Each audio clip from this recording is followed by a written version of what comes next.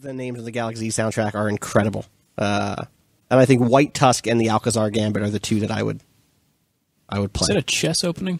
yeah, uh huh. It's a very famous.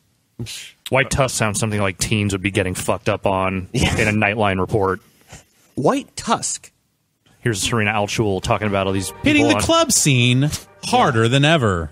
Uh, and this- taking teens for the ride of their life and death. This song is like, what if John Carpenter needed music by Timbaland? Okay. Shit, man. What if? Yeah.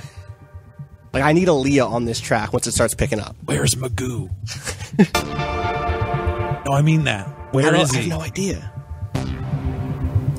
Galax-Z. That's my Magoo impression. That's not bad. Versus pulling that out, that's not bad. Yeah. Jump ahead a little bit when it's really popping off. Yeah, get to the pop off. Oh, jumping ahead. There's like a there's a go like two minutes in. There we go.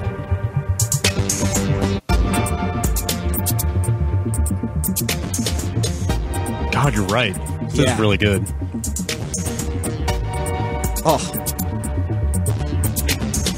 Move, bitch. Get out the way.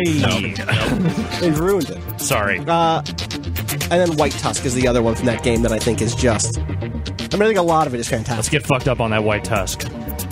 but that one's like popping off right off away, right away. Okay. When's season five coming out?